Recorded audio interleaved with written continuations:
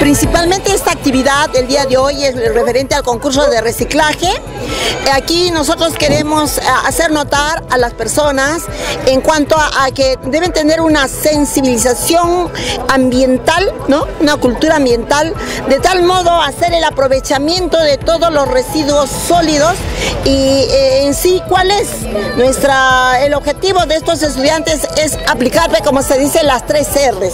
Una la de reducir los recursos que se utilizan para elaborar un producto, luego reutilizar y finalmente reciclar. Como hemos visto aquí, los estudiantes han aprovechado diversos eh, materiales, sea botellas plásticas, latas de aluminio, eh, discos de CD, los plásticos y, como se ha visto diferentes eh, trabajos muy interesantes que lo pueden aplicar en lo futuro como empresa. Estamos viendo ahí lo que es este un motor Stinger, luego tenemos de diferentes productos de decoración, eh, tenemos también lo que es la confección de, vestidos, también tenemos el aprovechamiento de lo que es el suero lácteo, eh, luego tenemos también lo que es la terma solar.